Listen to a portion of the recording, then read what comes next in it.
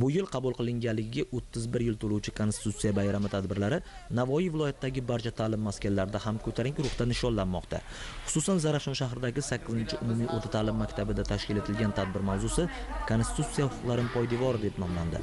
Uni boshlang'ich sinf o'quvchilari konstitutsiya haqida yod olgan she'rlari bilan boshlab bo'lim boblari hamda moddalarini gavdalantirdi. Bolajonlar o'zlarining konstitutsion bilimlarini sahna ko'rinishlari va chiqishlarida to'laqonli namoyish etishdi. Doimiy kuzatuvlar natijasida davlatlarni davlat sifatida tan olinishida albatta ramzlar bilan birgalikda bosh qonun hisoblangan konstitutsiya tan olinadi. Mana shunday konstitutsiyalar solishtirilganda o'zbekiston respublikasining konstitutsiyasi xalqchil insonparvar konstitutsiya sifatida tan olinadi. Noan'anaviy tarzda tashkil qilingan tadbirda o'quvchilar ongiga mana shu moddalar hayotda qaysi o'rinlarda bizga dasturul amal bo'lishi tushuntirib berildi. Farzandlarimiz o'quvchilarimiz ongida o'ylaymizki bu tadbir bir umr esida qoladi va mana shu qonunda mana shu moddalarda e, hayotni aks ettira oladi.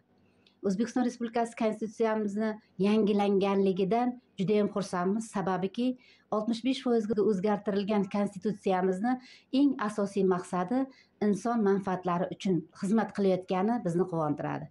Farzandlarimizga butun xalqimizga o'quvchilarimizga biz shuni tushuntirmoqchimizki bosh qomusimiz albatta bizni hayotda yashashimizga o'qishimizga faoliyat yuritishimizga ijtimoiy siyosiy hayotimizda albatta bizni qo'llab quvvatlaydigan himoya qiladigan asosiy qonun hisoblanadi. Shu kuni konstitutsiyaga bag'ishlangan ochiq dars mashg'uloti ham tashkil etildi. Mashg'ulotda o'quvchilarning konstitutsiyaga oid bilimlari sinovdan o'tkazildi. Ularning kiritilgan o'zgartirish va qo'shimchalar xususidagi bilimi mustahkamlandi.